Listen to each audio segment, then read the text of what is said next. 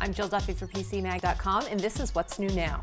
On Monday, Sarvint Technologies filed complaints against pretty much every company making smart clothing. The company, which was born out of research at Georgia Tech, holds two patents that essentially don't allow anyone else to make shirts or sports bras that use fibers or threads to pick up biosignals, such as heart rate and respiration rate. Without giving the long, boring patent numbers, the two documents being referenced are titled Fabric or Garment with Integrated Flexible Information Infrastructure and a novel fabric-based sensor for monitoring vital signs. Sarvint's product is called the Motherboard Smart Shirt, and it uses specialty fibers that measure vital signs such as heart rate, temperature, and respiration rate.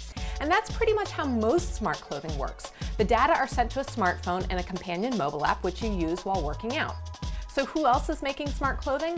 The list isn't especially long. It's seven companies in all, but it does include a few big names. Adidas North America, Ralph Lauren, and Victoria's Secret stores. A few of the companies cited in the complaint already have smart clothes on the market, although Sarvint does not. Its motherboard smart shirt is expected to come out sometime in the next few months, and its website isn't exactly brimming with product information either.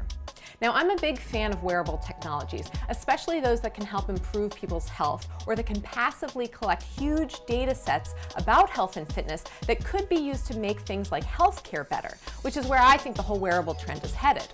Now, smart clothing is still a young technology that's only starting to gain attention from consumers now.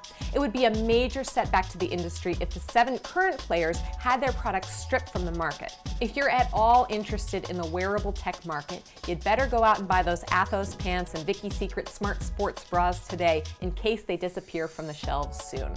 For more about wearable tech for health and fitness, check out pcmag.com forward slash health and fitness. That's what's new now. I'm Jill Duffy.